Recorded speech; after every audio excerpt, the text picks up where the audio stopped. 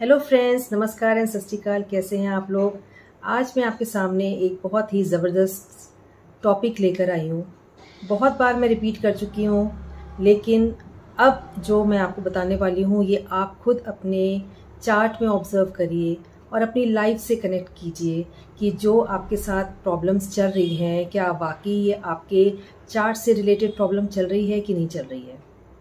आप मेहनत बहुत करते हो सारा दिन, सारा रात आप अपनी वर्क पे फोकस रखते हो, लेकिन फिर भी आपको वो रिज़ल्ट नहीं मिल पा रहे, वो सफलता नहीं मिल पा रही जो आप चाह रहे हो और जिसके आप हकदार थे।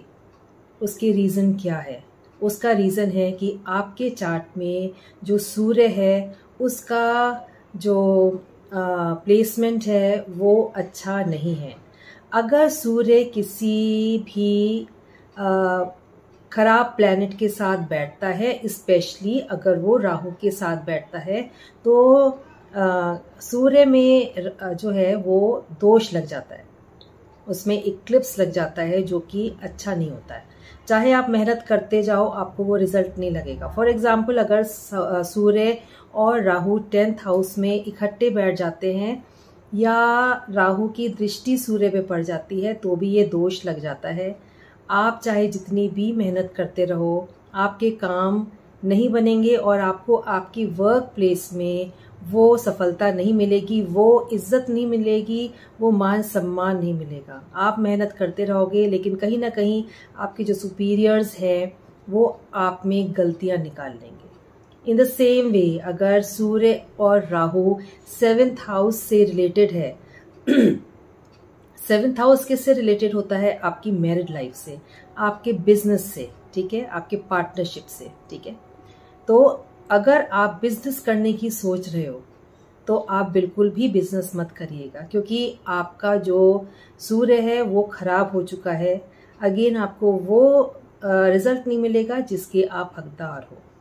फिर सेकेंडली क्योंकि वो पार्टनरशिप से रिलेटेड है, इसलिए मैं बात कर रही हूँ। और सेकेंड है, आपकी मैरिड लाइफ जो है वो बहुत ही ज़्यादा like in the initial stages specially I am talking कि आपको सफलता नहीं मिलेगी। जो आपके डिज़ायर्स हैं जिस चीज़ को आप चाह रहे हो कि आपको uh, जो खुशियाँ मिलनी चाहिए वो आपको नहीं मिलेगी ठीक है?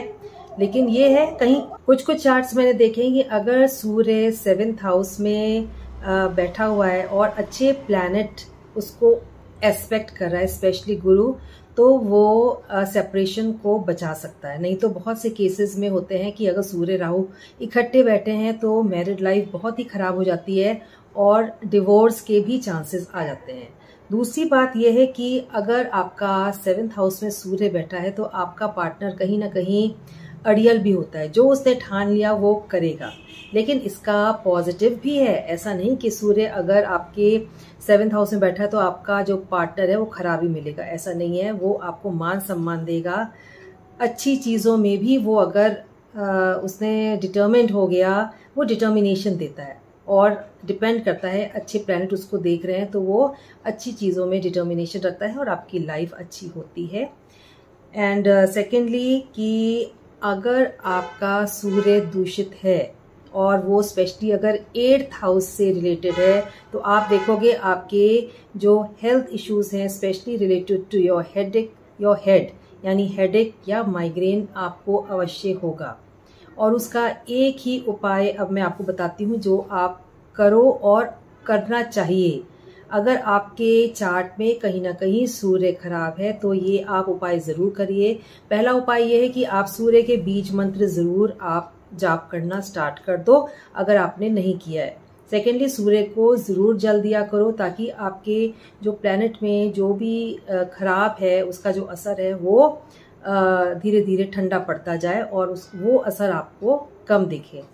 थर्ड आप जो हो, सूर्य के लिए, यानी अपने रॉयल लाइफ को पाने के लिए अच्छा असर देखने के लिए आप संडे वाले दिन गुड़ लीजिए और थोड़ा सा आप एक प्लेट में गेहूँ ले लीजिए, ठीक है? गेहूँ और गुड़ ले लिया और उसके सामने उसको अपने साथ में रख के आपने सूर्य के बीज मंत्र का जाप किया। कम से कम 108 बार तो जाप करना ही करना है। वो करने के बाद आपने क्या करना है? आपने वो गुड़ और गेहूँ आपने गौ माता को खिला देना है। ये आप रेगुलर बेसिस पे आप संडेज को करिए। आप देखोगे कि आपका जो सूर्य का जो नेगेटिव इफ़ेक्ट है, वो कम होना शुरू हो गया है। तो आप इतना करिए और आप देखोगे कि आपके जो रॉयल लाइफ है, जिसकी कमी हो रही थी, जहाँ आपको स्ट्रगल दिख रही थी, जिस भी हाउस में सूर्य खराब होगा वो आपको तकलीफ़ देगा। तो आप अपने प्लैनेट्स को ठीक करिए, क्योंकि सूर्य जो है, वो बहुत ही इंपॉर्टेंट है। आपके चार्ट में ठीक होना बिकॉज़ सूर्य खराब है तो आपकी लाइफ में स्ट्रगल रहेगी ही रहेगी।